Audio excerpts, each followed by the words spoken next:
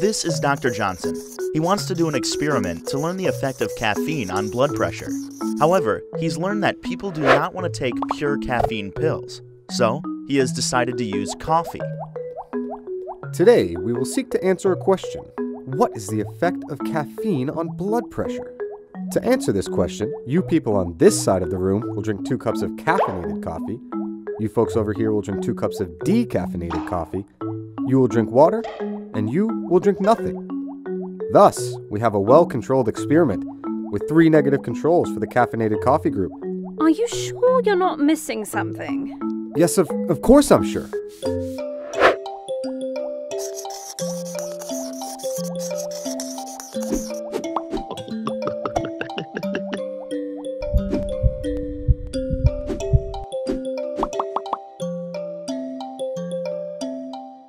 Everyone had the same blood pressure. The treatments did nothing. Are you absolutely sure you had all the appropriate controls? I had three separate negative controls. We can now definitely publish that caffeinated coffee has no effect on blood pressure.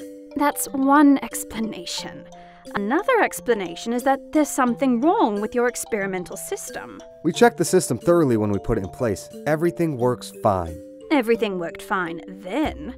But the only way you can be sure everything is still working fine is if you had a positive control. It's such a straightforward experiment. Surely I don't How do you need. know that your blood pressure monitor is working?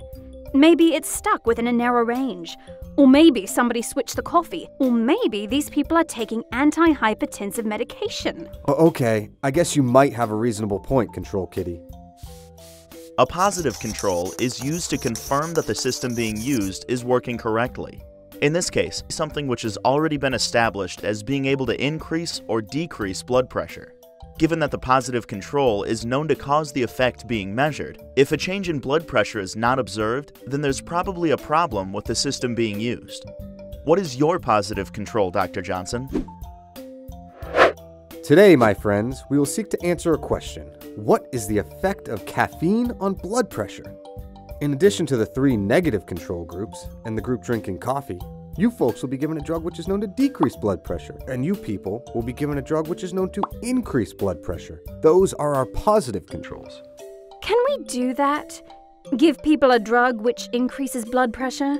I got the appropriate approvals from our testing committee. It's been shown to be quite safe in healthy subjects. Okay, just checking.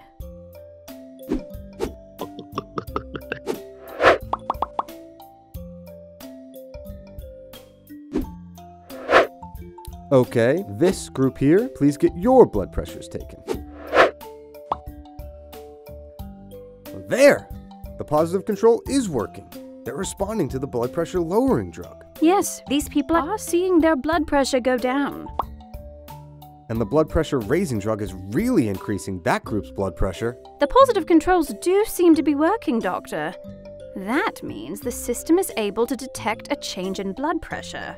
So, caffeine doesn't seem to have an effect on blood pressure. Yes, you can be more confident about your conclusion, since you proved your system was working. The controls worked, but the experiment failed. If your controls work, your experiment succeeded, Doctor. Even if you didn't get the result you hoped for. You are one tough cat. you still have so much to learn. A proper positive control is critical to determine if the experimental system is operating when the experiment is done. Positive controls also help give a point of comparison for the agent under study. Without a positive control, if that agent has no effect, the scientist is left unsure as to whether the experiment worked. But if the positive control works and shows a difference in comparison to the negative control, then the experiment worked. In this case, in response to the question, what is the effect of caffeine on blood pressure? No effect was observed with caffeine, but an effect was observed with the positive controls.